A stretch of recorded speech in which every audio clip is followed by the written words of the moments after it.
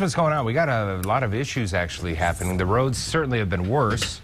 Uh, don't don't get all freaked out. However, do use caution, extra time. We're hearing about 52 uh, down by the refinery, uh, very icy right now, and the jackknife semi being reported. So that's off our flow map. Right now, 52 down by the refinery, you know where we're talking? Here, let's uh, show you what's happening right here. 694. Uh, a vehicle could not quite stay on the interstate. Spun out into the ditch. Help is on the scene. That's the view from 694 in Lexington. The roads, the interstates, they're mainly wet, but you will find sections of the interstate and highways where it's sloppy and slick with that little bit of snow. This vehicle, 35E northbound, spun out right there in Little Canada. We're going to show you what's happening on the crosstown. Well, we're going to go live to the crosstown. Difficult to make out but South 35 to go west crosstown.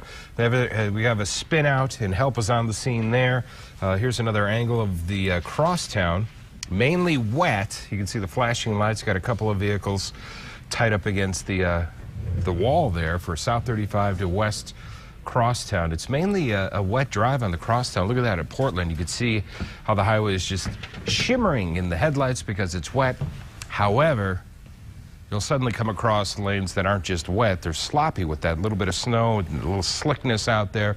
So we've had a couple of spit outs. And 52, evidently, down there by the refinery, south of uh, the loop here, right down there. Very icy is what we're hearing, Brad.